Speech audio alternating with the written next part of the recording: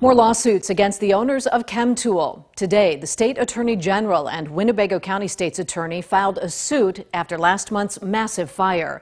This is new at 6. The lawsuit alleges ChemTool's actions posed a substantial danger to the public's health and welfare, specifically pointing out the ash and debris as well as other contaminants that landed in people's yards. Attorney General Kwame Raoul and State's Attorney Jay Hanley want ChemTool to be held liable for any damages as well as the costs the state and county incurred responding to the incident.